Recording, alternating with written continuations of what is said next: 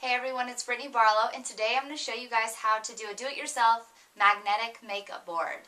If you guys have always wondered how to keep your makeup organized, I recently was on the internet and my mom actually came across it the first time and, and found this idea so I thought it was really cool and I wanted to show you guys how I did my magnetic makeup board. So what we're going to do is get some spray adhesive. I had some really thin sheet metal cut to fit into a picture frame. And I'm just going to spray it with the adhesive and I've cut out fabric to fit and I did double-sided so if I want it to have um, tan fabric showing one day for the makeup board I could do that or I could do the black and white one. So it could be versatile. Just lightly spray over it.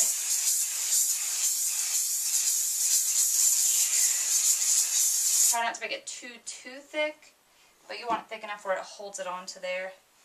And then we're going to start at the top and just press it down. Now I've already gone ahead and this was a gold picture frame. It did have a little bit of black in it, but I wanted more black since my room at my house um, is a black room, or it has black dark brown and black stuff on it anyhow.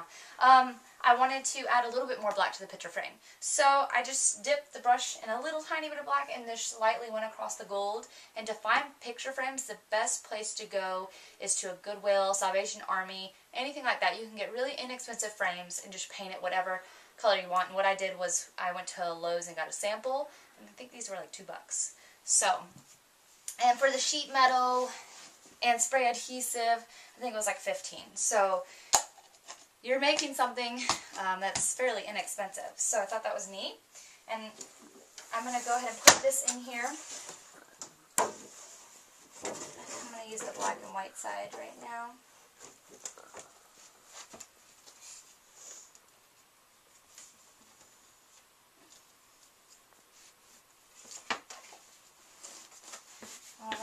Now we have our magnetic board.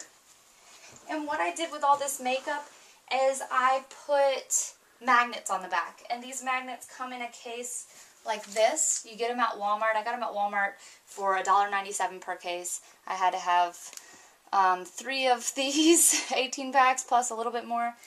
Um, but I was told you can find magnets at the dollar store, but ours didn't have them, so these ones worked. And what I'm going to do is put these in order from like brows to eyeshadow stuff and then face stuff. And with these things, I found these at Walmart as well. I put cotton circles in them. And then I cut Q-tips in half and put them in these ones to have. And I got these little hooks to hold just anything, so I have my eyelash curlers on them. Okay, and these just have notes and a little brush. I just put a quote on them. So we're going to go ahead and put those on the board. Here's what the finished product looks like, hung up on the wall and ready to go. And I finally have it organized how I like it. And it's right above my vanity, like so.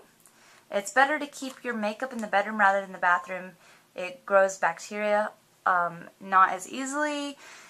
So, an ideal way of doing that is to organize it like so with a magnetic board an even faster way, you can just get a calendar magnetic board, cover it up with fabric and do it that way. But I like the whole frame thing, so we did it like this. And if you want more of the background to show, just change it around with different makeup you like to wear and change out. I like to fit as much as I can up there so I can um, just try something new every day with different colors. So I hope you guys enjoyed this and I hope this helps some with some organizational skills and see you guys next week.